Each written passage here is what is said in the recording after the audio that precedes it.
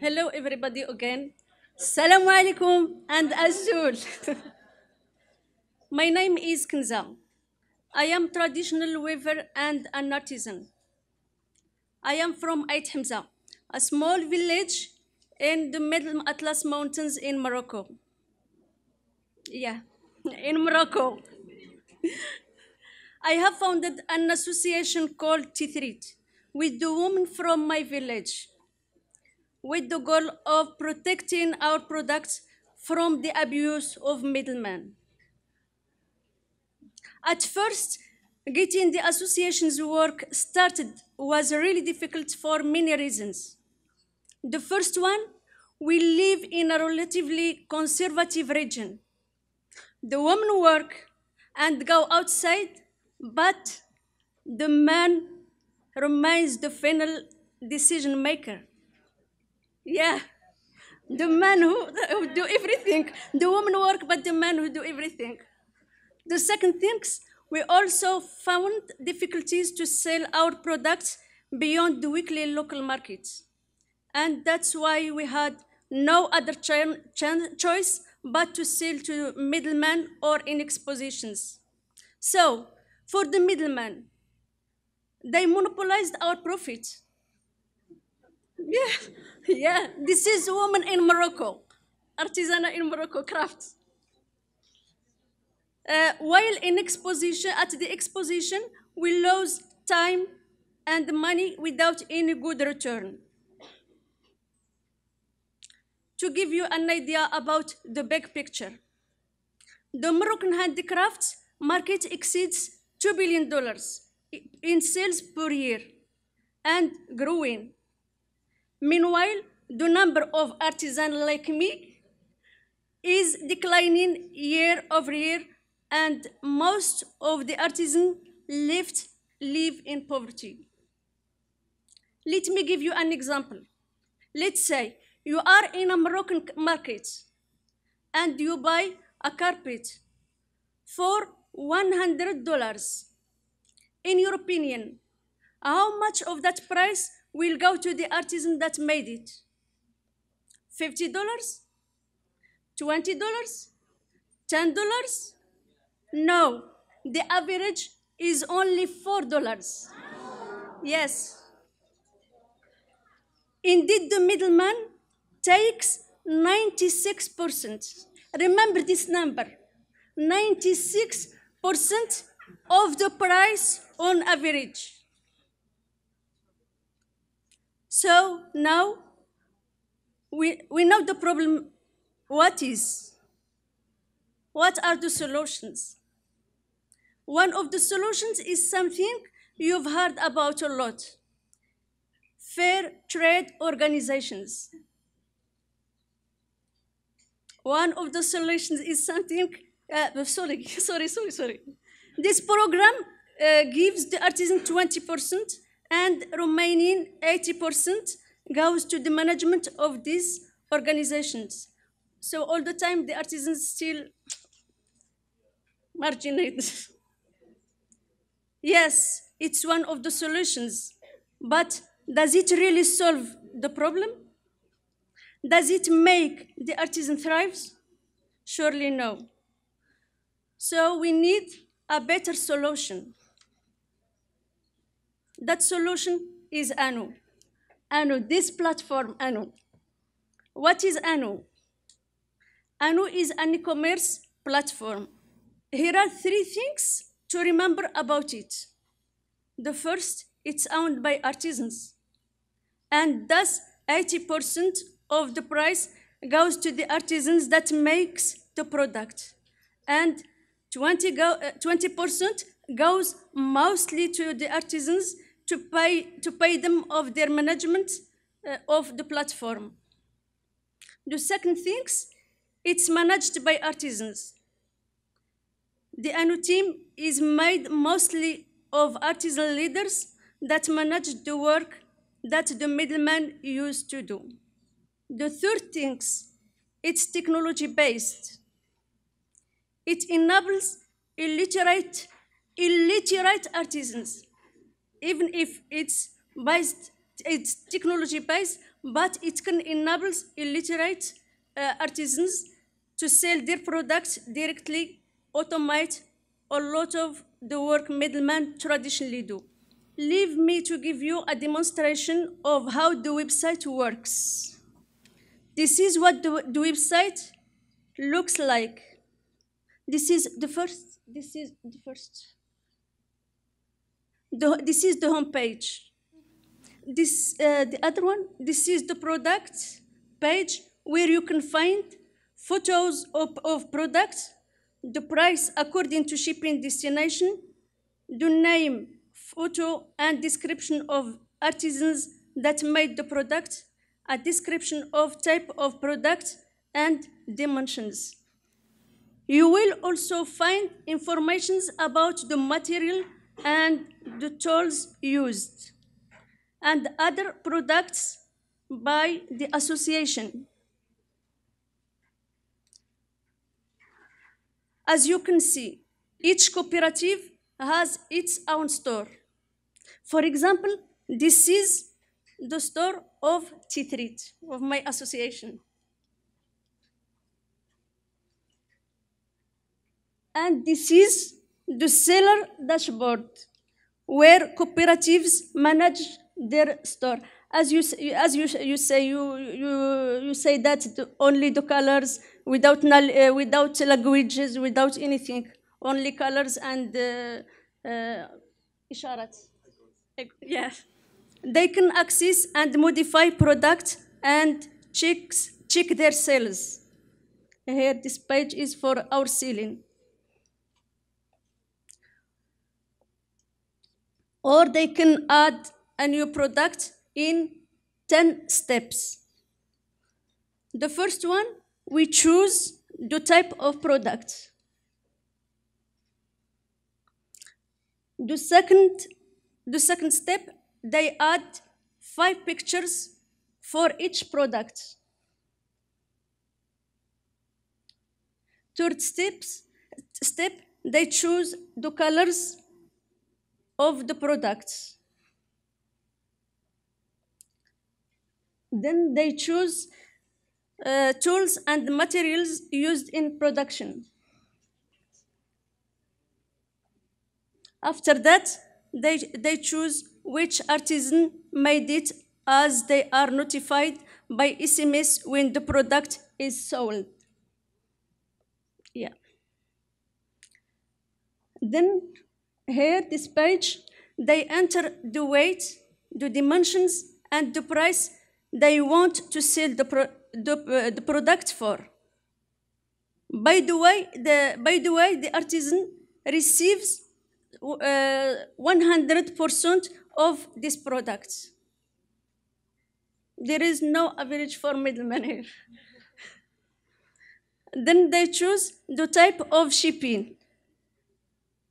Yeah. And finally, the system calculates all the price. We created this simple language free system on the website and we are even applying it to real world. That's why it's able to support the enable artisans. For example, the artisan can send a shipping slip to WhatsApp number and it scans the shipping number. But creating market access is not enough. Artisans need to administer it, do the job the middleman traditionally did, and do it better than them. Yes, yes, we should do that for having our profits. That's why we created the concept of artisan leaders. This is the, our team.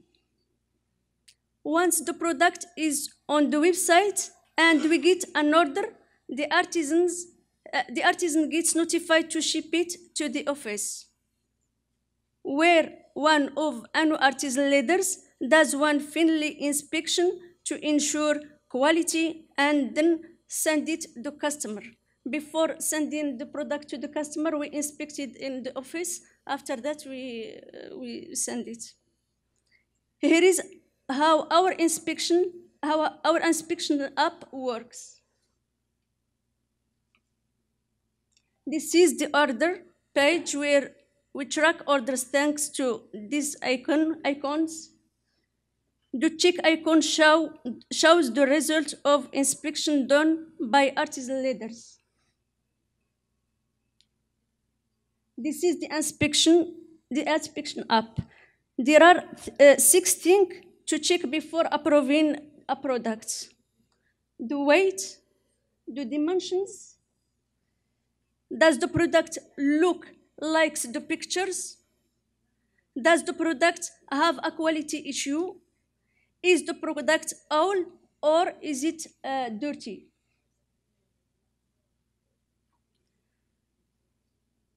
Moreover, beyond improving sales and profit for artisans, Anou gives artisans the opportunity to develop their personal skills and to master their crafts through a new kind of customer that's more demanding in terms of design and dimensions.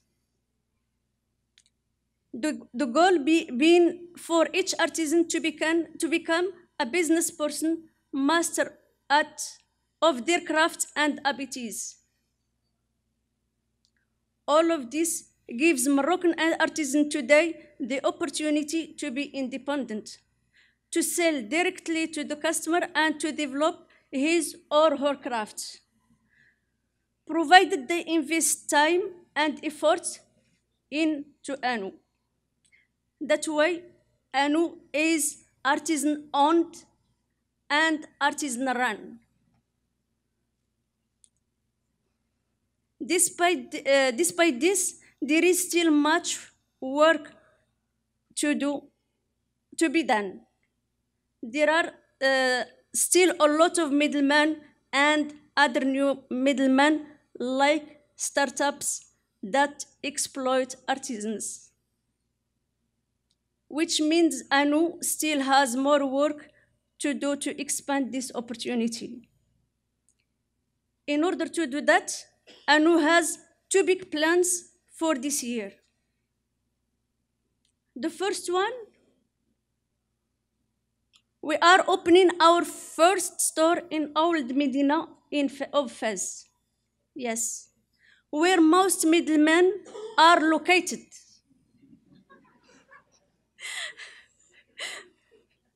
The goal is to give visibility to Anou beyond the internet and ensure artisans always have success, uh, have access to customers locally, locally and abroad. The second thing, to go further, we, we, uh, we want to make product quality our competitive edge.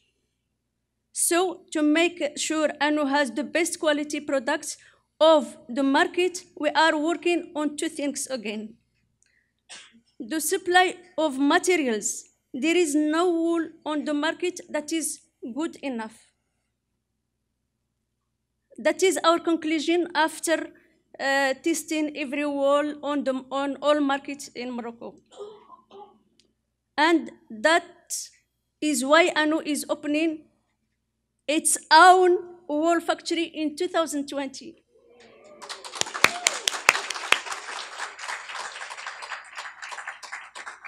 The second thing is the process. We developed our own dye, uh, wool dye facility and we have mastered the dye process to, produ to produce the best results.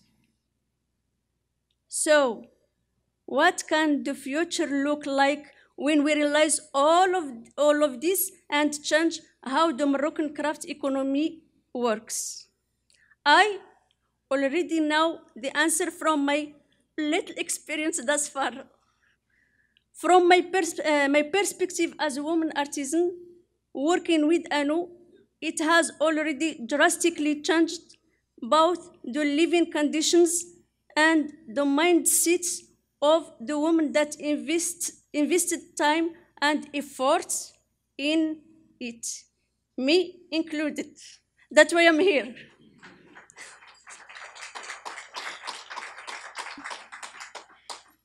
It has made us financially independent and able to provide for our families. One good example of the impact working with Anou had is the example of Ito. Ito is one woman in our association. I think you can, s- you can show the picture about Ito. So, okay, sorry. Ito's kid Hussein is disabled and normally would not be able to find work. But Ito fought hard for him and funded his education thanks to her income from Anou. Yes, Hussein today got his baccalaureate and agree in woodwork. He is planning to open his wood workshop and ultimately join the Anou community, inshallah. Moreover, Anou has also made women actors of civility, uh, of civil society and powerhouses in their communities. With the women, uh, with the women of T3 Association and the money from Anou sales, we have organized healthcare caravans. We have provided the community with trash bins and organize campaigns about the environment.